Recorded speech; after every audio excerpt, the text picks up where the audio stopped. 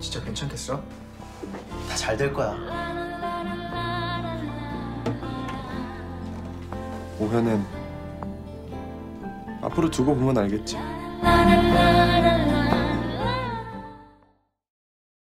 你他妈是猴子请来逗逼的吗？